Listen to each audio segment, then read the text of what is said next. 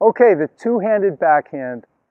How do we get consistency and power? Well, let's start off with consistency first. Remember, when you hit the ball, you you want your racket straight up and down, vertical. It doesn't matter if it's Roger Federer or Joe Smith that's holding the racket.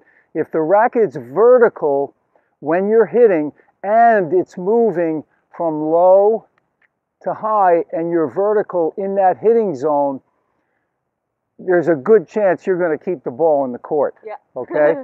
so that's key. You want to be vertical at contact. Now, how do we do that?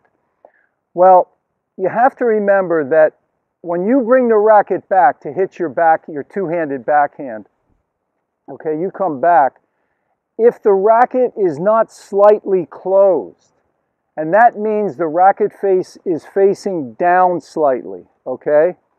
Let's say your racket is straight up, okay? If your racket's straight up, what happens right now, my racket is straight up.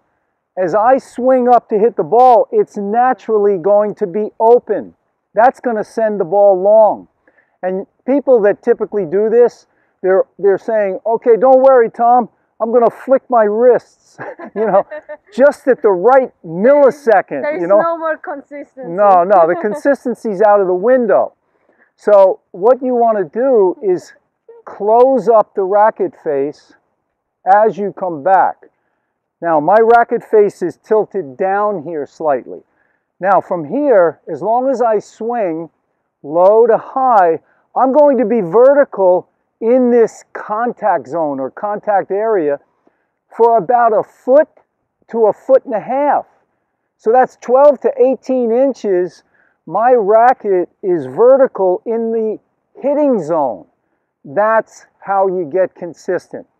So we'll show you a little drill you can do to really help your consistency. Okay, here's a great drill that you can do. Use the fence as your contact point. So right here, let's say, is where Stephanie's going to hit the ball. Okay, so if that was her contact point right here, she has to be coming from a low position here, at least a foot lower. So now swing up slowly, Stephanie. See, she hits the fence vertical. That's what's going to make you famous. Being vertical when you're hitting the ball. That's key with a racket moving from low to high. So, And my racket is really closed right now. all right, her racket's closed. Now remember, this point here is one foot lower than this point. This is slightly higher here, about a foot higher. That gives you net clearance every time. Hitting in the net is the number one mistake worldwide of tennis players. But you've got to get to the point where you rarely hit the ball in the net. And this is the key right here. Just getting low and then a low to high swing and being vertical when you make contact. Now, how do we get power in our shot? Now, Stephanie has a two handed backhand. So, what would you say, Stephanie? You know, what do you need for power with your two hander? Um, as a lefty, I have to use more my right hand. Okay, so My right hand is doing most of the work. Okay. So that hand is trying to be fast, like a fast racket head speed. It's just pushing way more than my left hand. So it's always the non-dominant hand. For right-hander, it's the left hand that has to do more. Okay, so the non-dominant hand, in Stephanie's case, she's a lefty, so her right hand is going to be doing more work. That is absolutely key if you want to develop power with your two-hander. Um, what else is there, you think? Um, on all your strokes, you, you use the power in the legs. Okay, Power comes from the legs. Yeah. Doesn't matter if it's serve, forehand, Yeah. okay, also volley. huh? You try to transfer the weight into the ball. okay, yeah, On the side.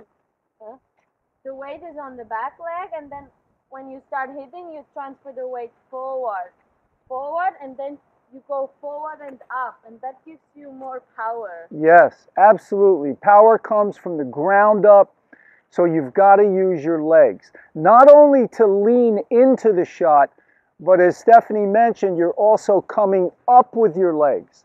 That lifting with your legs is going to give you more power, more depth on your shots.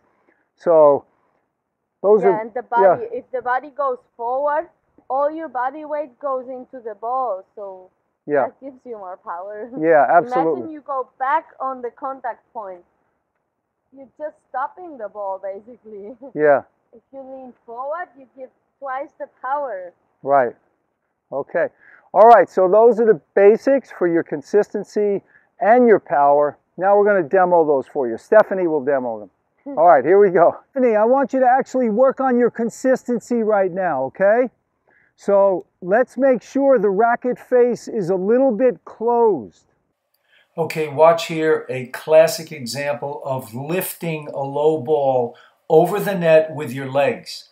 Okay, right there too, you can see Stephanie is bending extremely well. The racket face is closed, which guarantees vertical at contact, one of the keys to consistency. But notice how she lifts as she hits the ball.